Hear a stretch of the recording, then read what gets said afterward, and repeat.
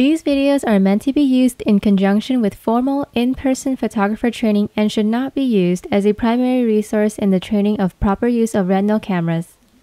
This video may be used freely for nonprofit educational purposes with the expressed acknowledgement of the University of California, Berkeley. Use for any other purpose requires written consent from the UC Berkeley Optometric Eye Center. This video is copyrighted by the UC Berkeley School of Optometry 2012. As reviewed in the small pupil troubleshooting video, there are three required elements that must be obtained in at least one photo from each eye. To ensure that all of these elements have been captured, it is insufficient to view the thumb images on the screen on the back of the retinal camera. You must zoom in on different portions of each photo to verify that good focus has been achieved and that the macula is not obscured by small pupil artifacts. The retinal camera that you are using will have the same functionalities as shown here.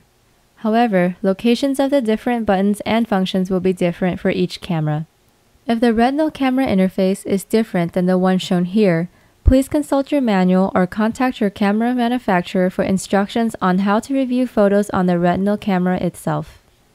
To view retinal images on the LCD screen, press the play button on the lower left-hand corner which will bring up the last photo taken. To zoom in on various portions of the photo, use the zoom in and out buttons in the upper right hand corner of the camera back. You will also need to scroll around the image after zooming in as shown here.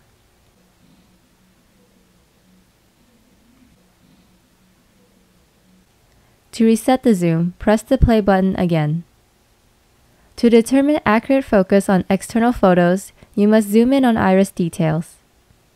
In this example, the zoomed out view appears to be in good focus. As we zoom in and recenter the photo, we can see that the details of the iris can clearly be seen.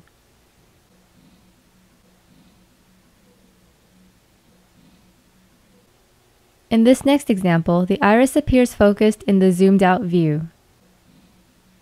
However, after zooming in and recentering the photo, you can see that the iris details are quite out of focus, which is not optimal.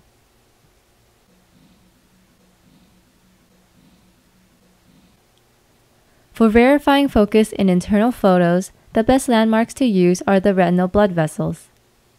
In this example, the zoomed out view appears to be in good focus, which is verified by zooming in and recentering the photo on the arteries and veins on the bottom portion of the picture. Note that the edges of the vessels are sharp and distinct, which is the best indication of good focus. In our next internal field example, the photo appears to be in good focus in the zoomed out view. However, upon closer examination by zooming in and recentering the photo, you can see that the vessels are quite out of focus.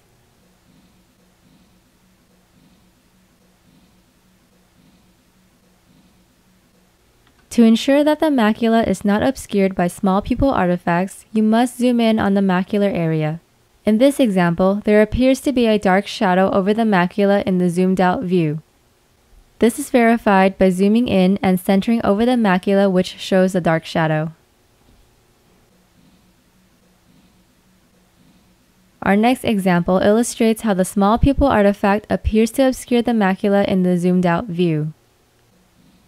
However, upon zooming in, you can see that the shadow is actually below and to the left of the macular area, which is adequately illuminated.